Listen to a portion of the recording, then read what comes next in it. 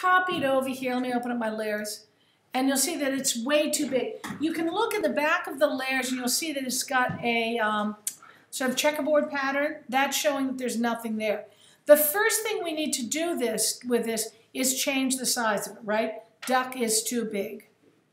So we're going to go to Edit, Free Transform.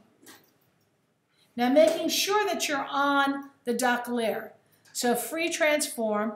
And what happens is you get this visual of the duck. You get the four little handles here. You can bring make the duck small like this. You move the duck like that. You can take it from the corner and size it up. And once you're sizing it up, then you can sort of move it around from the center, getting it, because we're going to put it in the hands. Okay? So I'm going to size it up so it can go in the hands.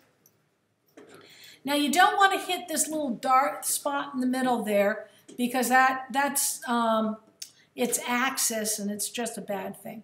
But you may decide that you want to move this and change um, its angle. So I'm not clicking down on the mouse, I'm just going outside.